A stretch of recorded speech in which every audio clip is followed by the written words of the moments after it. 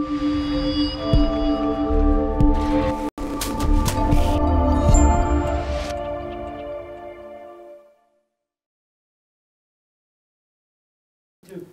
cool. Well, my name is Nate Pressnall. I'm a rising 2L at the University of Sturm College, uh, University of Denver Sturm College of Law. I've been working as an extern over the summer with Karl Dakin, so this is my first time presenting here, and I just get to talk about uh, how we can combine whole life insurance with Opportunity Zone funding. So let's get started. So first off, as we know, through an Opportunity Zone investment with capital gains, from those investors goes into an Opportunity Zone fund. Then those, that money itself is deployed into an Opportunity Zone business, either for a business itself or a real estate play. So now what we're looking at here would be the business itself, getting that money from the investor, and then buying whole life insurance and using, their, using that insurance to, in, to insure the investor himself or her or whoever part of the entity itself. So then over the time, money would be borrowed against this policy, policy itself. Again, going, as we were shown earlier, using a different amount, like a higher amount of capital in the initial time to reinvest itself into the business, which goes into this slide. So this money itself could be in, combined with either equipment lease or a commercial mortgage that itself is used by the Opportunity Zone business to buy assets. And then out of this, through the revenues that the Opportunity Zone business would be gaining, either through rent or through different income from the business itself, it would be paying the premium into this insurance policy throughout the, throughout the term of the investment. Now also, more, as more cash is built up, more money can be borrowed itself from the whole life insurance policy.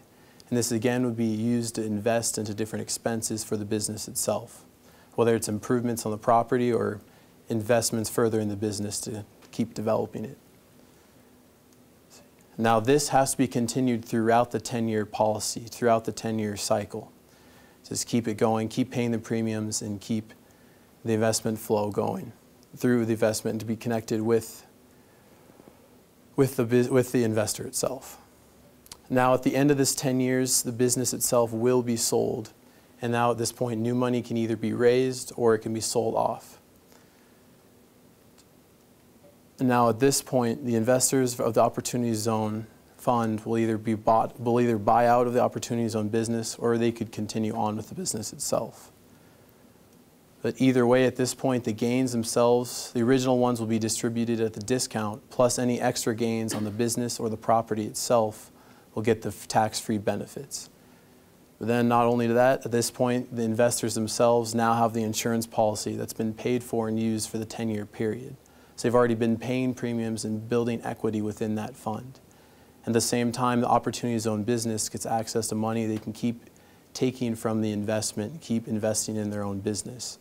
At the same time, it gives the, it gives the Opportunity Zone investor a reason, not just for the ROI from the business itself, it gives them an added ROI in a way of getting their own insurance policy combined with it.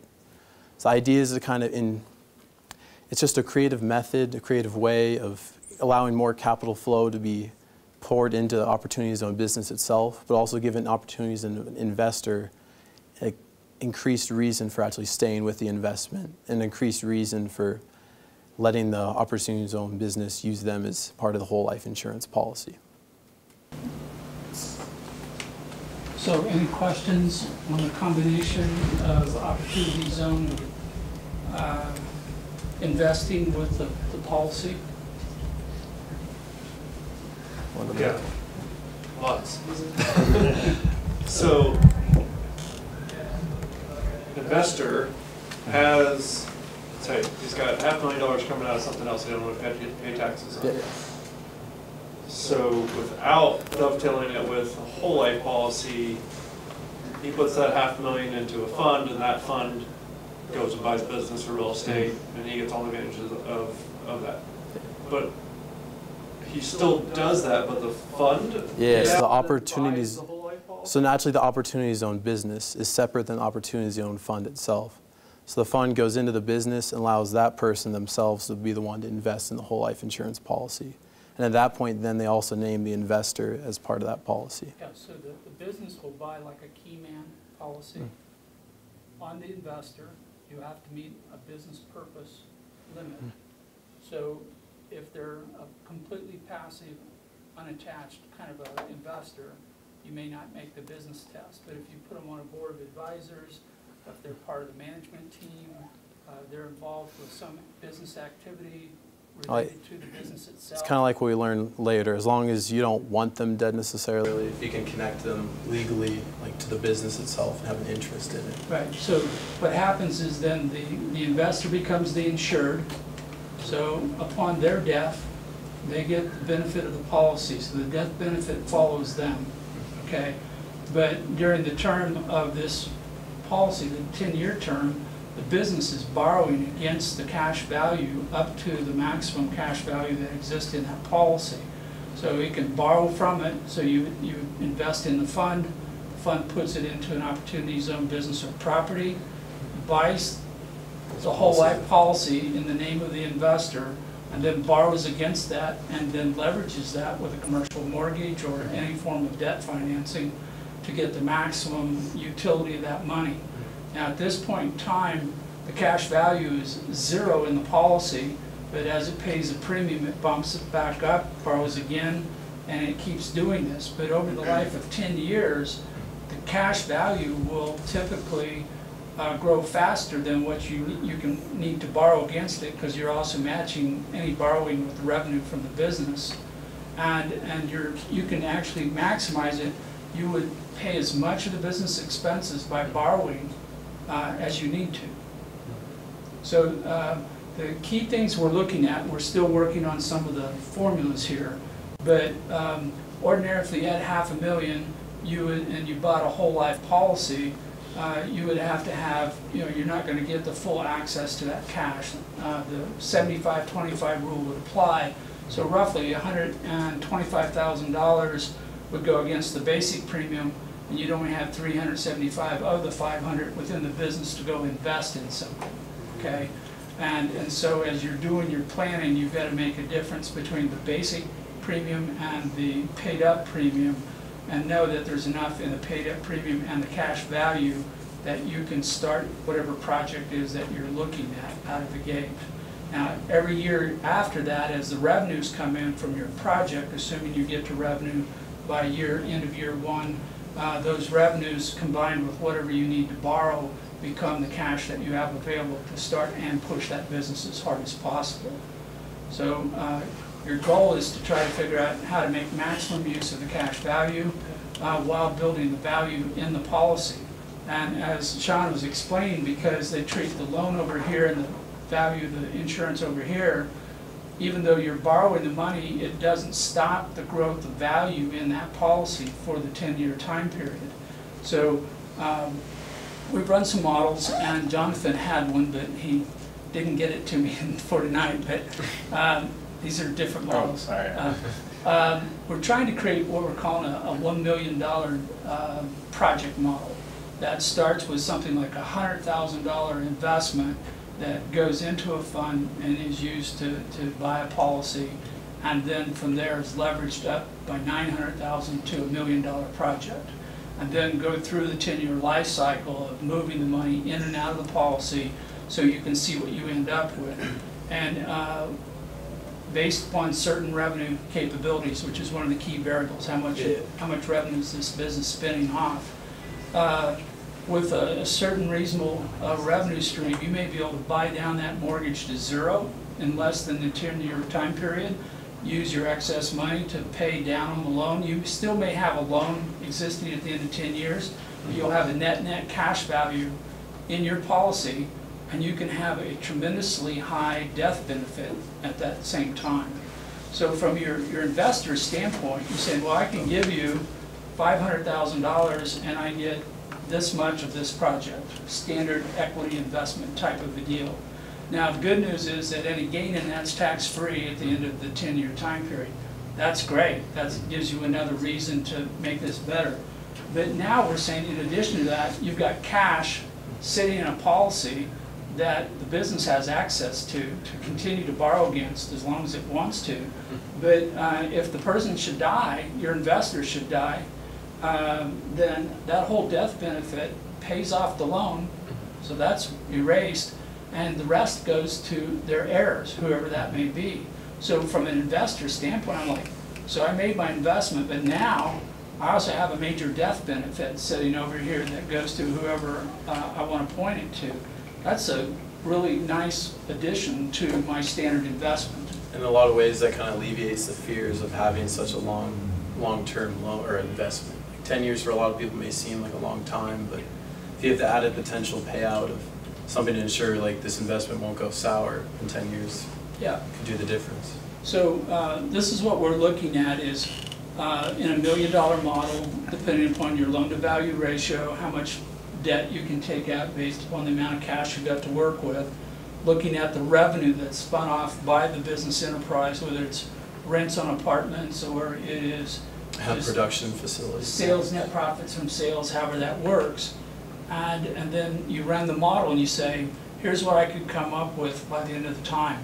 And if I'm borrowing against the policy aggressively, that allows me to push the growth of this business, particularly of those that are gonna have increasing capital If you get better equipment to help develop. Right. So you can, you can basically increase the value of your investment so that when it's sold at the end of ten years, you've got a higher net gain from the tax incentive. And so, going back to real estate, so if we're, if we're building and selling buildings, units, townhomes, but as long as the, the fund that owns that real estate keeps that money in, inside the fund, like we talked about the phone, you either reinvest it right back in the same project, because it's a phase project, right in the same opportunity zone, or does something else with it, it's fine, you can, you can sell off assets that a fund owns as long as profit from those assets don't get distributed outside of the fund. That's correct. So if you're, if you're buying real estate, uh, you hold it for three years, you sell it, uh, you have twelve months to do like a ten thirty-one rollover and invest that back into a, a different opportunity zone property or business. It Doesn't have to be the same kind, so we're not doing some of those limitations. But you would invest the entirety of that over, uh, into a new project, so it continues to work in the distressed economic community. So in a ten-year time period, we've had real estate people talk about doing anywhere from two to five deals in a ten-year time period. Depends on how quickly they can turn properties. Or if they're doing fix and flips, they might be doing three a year or something, they might do thirty uh, within a, a ten-year time period. And at the end of the ten years, all that money is sitting in the company, and then you basically buy out the fund interest, like buy the stock down, that constitutes a distribution, or you sell the business, you just push the money through the fund, and all the capital gains on that is tax-free. And you're sitting on net, net cash value uh, in the fund that is available for someone to use, which could be changed based on the policy. In ten years, I don't need any more. I could somehow transfer that over to the insured, and the insured could take it over from that point. So I could be handing them cash, that's tax-free, I believe, I have to check on that one. Uh, If we assign over the, the value of the policy to the insured, would that be a tax event? I don't believe so. no. Okay, We'll write that one down, because I know I'm gonna be asked about it as soon as this program's over. And, and the person has a death benefit sitting there, and we're talking millions of dollars of be- death benefits. So if they should happen to die at any time, this thing is generating enough dividends and cash value to pay the premiums. And so they could be sitting there without having to do anything more for the rest of the policy, uh, except letting that thing grow, and it can continue to grow. Wait, I didn't follow that last thing. So let's say after ten years, you- your, your cash value don't increase, your death benefit's great, but the policy itself, four point five percent that it's growing is enough to pay for the premiums for life, is that what you're saying? Yeah, yeah, so you've got a. So that investor doesn't have to, at, in, in year eleven, be like, oh crap, now I gotta come up with fifty thousand dollars to pay this premium, because the, the policy's paying for itself, basically. So one of the things Jonathan mentioned, which I didn't get to ask you, so surprise question, but, uh, um, we think it's possible that you can construct a real estate deal with a guaranteed payout at the end of ten years on a, a level of return on investment. So that using the insurance policy uh, essentially as a hedge, uh, I could tell someone, uh, we're gonna guarantee you no less than eight percent ROI per year on your investment in this real estate, because we ran it through a policy of this nature. We can use the cash in policy to make sure they hit their eight percent, and then we're still got access to that money, the rest of the money to do the rest of the deal. So that's why I'm saying that, that we get four or five steps down the road, we have a basic model, uh, which we're doing at one million dollar project. And we're gonna then do twenty or thirty variables on that for greater dollar amounts, all we do is scale it. But if we go from a, a 90-10 loan to value to a 20-80 or something, we'll, we'll figure all that out. And then we'll figure out where the sweet spot is and what kind of projects are best, and, and then we're gonna test it, uh, on this project in Florence, so you get to see how it works. Yep. Okay, let's do this, let's take a, a five-minute break.